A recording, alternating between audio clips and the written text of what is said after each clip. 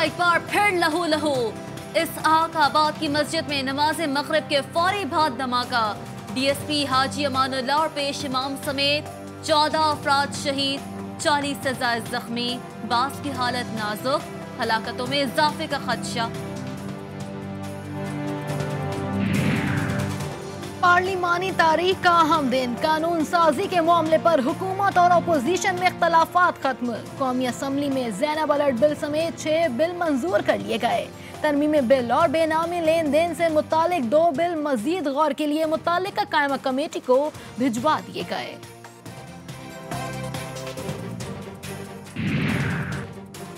بچوں کے خلاف جرائم پر عمر قید۔ کم سے کم دس سال زیادہ سے زیادہ چودہ سال سزا دی جا سکے گی۔ زینب الرٹ جوابی رد عمل اور بازیابی ایک متفقہ طور پر قومی اسمبلی سے منظور کیے گئے۔ بچوں کے تحفظ کے لیے ہیلپ لائن بھی قائم کی جائے گی۔ ایوان میں وراثتی سرٹیفکیٹ بل اور لیگل ایڈ معاونت بل بھی منظور۔ وہ شاہین کا اقدام ہے۔ یہ جو زینب الرٹ لا بل پاس ہوا ہے، زینب بیٹی کی دوسری برسی کے موقع پر یہ بچوں کے حقوق اور تحفظ کے لیے خصوصی طور پر اس کے بچے اس کے ہمارے جو کم بچے ہیں، بچیاں جو گم ہو جاتے ہیں، ان کو تحفظ دیا جا سکے گا۔ درندگی کا شکار بننے والی کم سن بچی زینب کے والد محمد امین نے زینب الرٹ بل کی منظوری کو حکومت کا بہترین اقدام قرار دے دیا۔ کہا، بل سے بچوں کے خلاف جرائم کے خاتمے میں مدد ملے گی۔ ایرانی حدود میں یوکرائن کے طیارے کی تباہی کی ویڈیو سامنے آ گئی۔ کینیڈا، برطانیہ اور امریکہ نے طیارے کی تباہی کو میزائل حملے کا نتیجہ قرار دے دیا۔ تینوں ممالک کے بیانات کے بعد یوکرائن نے بھی اپنا ابتدائی موقف تبدیل کر کے ان کی ہم نوائی شروع کر دی۔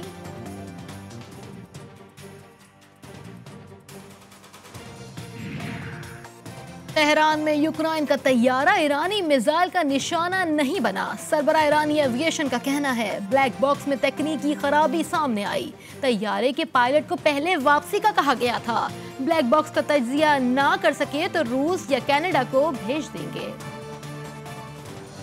میری گورنمنٹ کسی قسم کی ہم نہ سفارشی سسٹم لے کے آئیں گے۔ کوئی کرپشن ہو، میں، ہم اپنے سارے اداروں کو کہہ رہے ہیں کہ کوئی بھی کرپشن کوئی بھی کرے، میرا ایک، میرا جو پرائم منسٹر ہاؤس میں پورٹل کمپلینٹ سیل بنا ہوا ہے، کوئی کوئی بھی کرپشن ہو، وہاں بتائے اور میرا کام ہے اس کرپٹ کے خلاف ایکشن لینا۔ وزیر اعظم عمران خان نے کہا ہے کہ موجودہ حکومت کا سب سے بڑا چیلنج پاکستان کو فلاحی ریاست بنانا ہے۔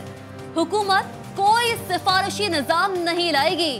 پاکستان سٹیزن پورٹل پر کرپشن سے متعلق شکایت کریں، کاروائی کریں گے۔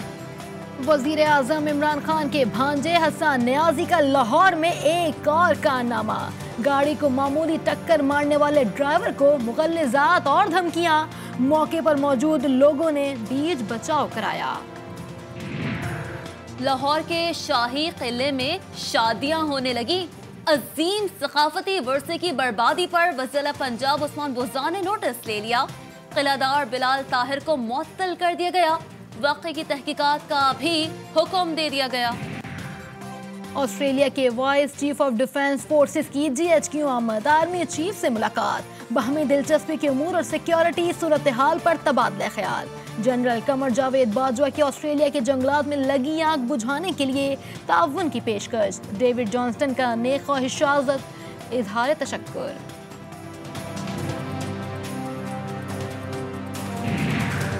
آسٹریلیا کے جنگلات میں لگی آگ پر اب تک قابو نہ پایا جا سکا۔ تیس افراد ہلاک، لاکھوں جانور بھی مر گئے۔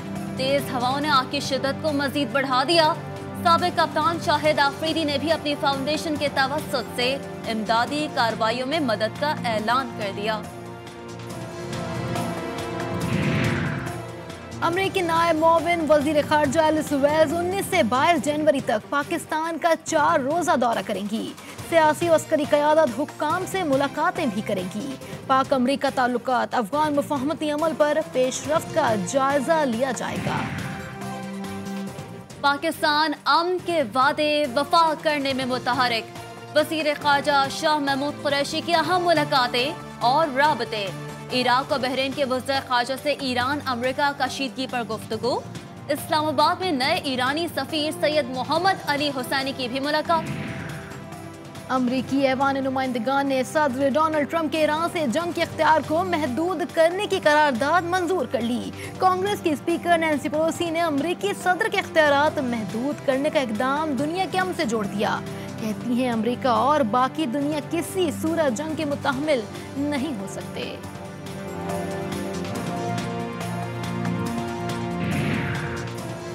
ایرانی جنرل قاسم سلیمانی کی امریکی حملے میں قتل کے خلاف مذہبی جماعتوں کے زیر اہتمام مختلف شہروں میں مظاہرے، علامہ عارف واحدی کہتے ہیں، امت کے اصل دشمن امریکہ، اسرائیل اور بھارت ہے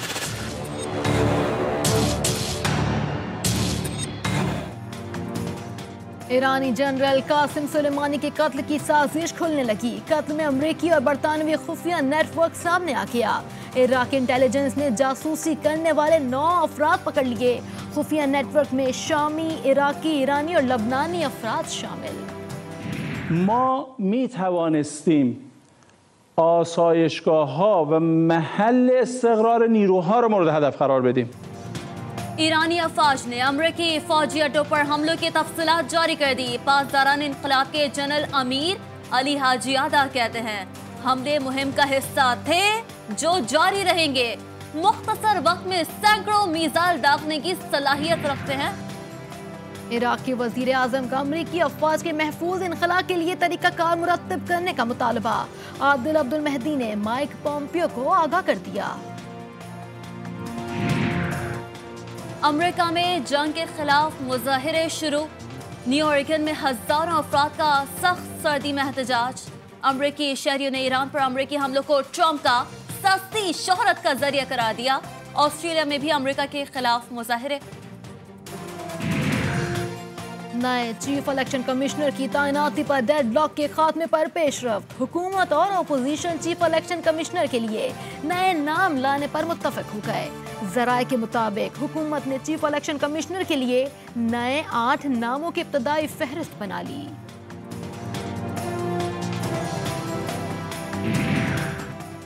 وفاقی وزیر فواد چودھری کا کہنا ہے کہ نیب آرڈیننس پر بھی بات چیت ہو رہی ہے۔ حکومت اور اپوزیشن جماعتوں کی اپنی تجاویز ہیں۔ اتفاق رائے کی کوشش کر رہے ہیں۔ شہباز شریف کی تلاش گمشدہ کا اشتہار دینا پڑ رہا ہے۔ ان کو واپس آ کر اپنے کیسز کا سامنا کرنا چاہیے۔ منشیات برآمدگی کیس میں رانا ثناء اللہ نے عدالتی تحقیقاتی کمیشن بنانے کا مطالبہ کر دیا۔ ایوان میں قرآن اٹھا کر کہا، جن لوگوں نے یہ سب کچھ کیا، ان پر اللہ کا قہر نازل ہو۔ رانا ثناء اللہ پر بہت سے الزامات ہیں۔ کیا ہم سانحہ ماڈل ٹاؤن بھول گئے؟ جس میں کئی افراد کو قتل کیا گیا۔ مراد سعید کا رانا ثناء اللہ کو جواب کہا، اپوزیشن رہنماؤں کی عدالت میں کیسز چلتے ہیں اسمبلی اجلاس میں آ کر وہ تقریریں جھاڑتے ہیں۔ پرویز خٹک سے کہا تھا، انہیں ریڈی میڈ اپوزیشن ملے گی۔ شیخ رشید کہتے ہیں، وہ خود بھی احتساب آرڈیننس کے مخالف ہیں۔ ریلوے کی آمدن میں گزشتہ دس سال دس ارب روپے کا اضافہ ہوا۔ نوشہرہ میں تقریب سے خطاب۔ خورشید شاہ کے خلاف آمدن سے زائد اساسجات کیس میں مکمل انکوائری کے لیے پانچ رکنی جوائنٹ انویسٹیگیشن ٹیم بنا دی گئی۔ D G NAB Multan Atiq ur Rehman G I T team کے سربراہ نامزد لاہور ہائی کورٹ نے پرویز مشرف کی سزا پر عمل درآمد رکوانے کی درخواست پر خصوصی عدالت کی تشکیل کی سمری مانگ لی۔ آرٹیکل چھ کا جرم کوئی اکیلے نہیں کرتا۔ بیرسٹر علی ظفر کے دلائل، اس سے پہلے کبھی ملزم کی غیر موجودگی میں ٹرائل مکمل کیا گیا۔ عدالت کے ریمارکس۔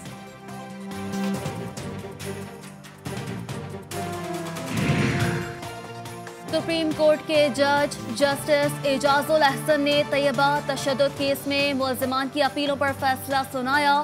ملزمان راجہ خورم اور ماہین ظفر کی ٹرائل کورٹ کی دی گئی ایک ایک سال کی سزائیں بحال۔ عدالت نے سزاؤں میں مزید اضافے کی حکومتی اپیل پر ملزمان کو نوٹس جاری کر دیے۔ استنبول کے ائرپورٹ دنیا کے تمام جرائم کی ڈیل کی جگہ بن گئے۔ سپریم کورٹ کراچی ریجسٹری میں ہوائی اڈوں پر مسافروں سے نارو سلوک کے معاملے کی سماعت کے دوران چیف جسٹس گلزار احمد کے ریمارکس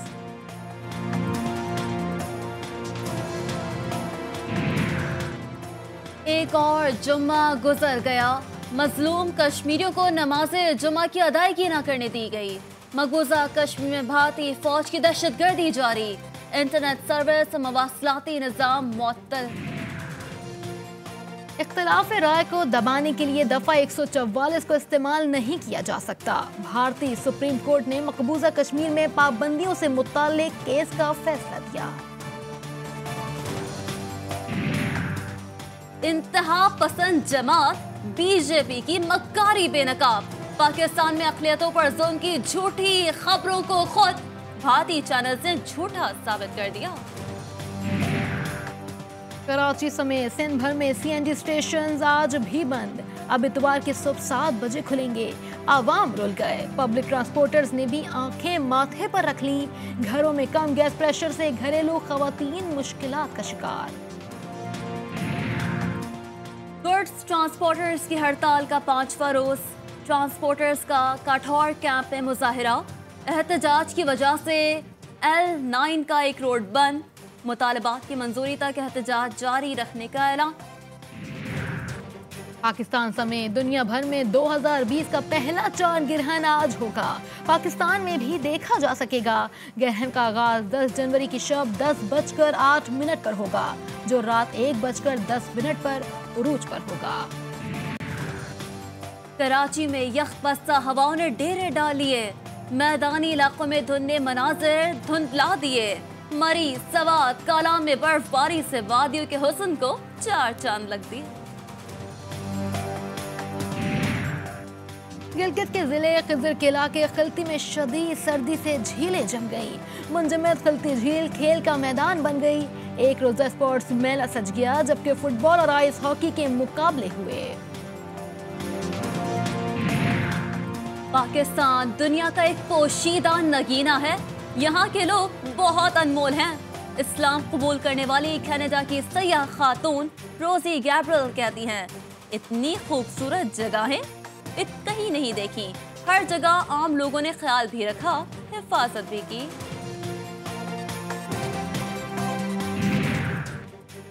برطانیہ کے شہزادہ ہیری اور ان کی اہلیہ میگھن کا شاہی فرائض سے دست بردار ہونے کا اعلان بونچھال لے آیا۔ بکنگم پیلس پریشان، ملکہ نے روٹھے شہزادے کو فون کر دیا۔ اخراجات کو پورا کرنے کے ان کے کیا ارادے ہیں؟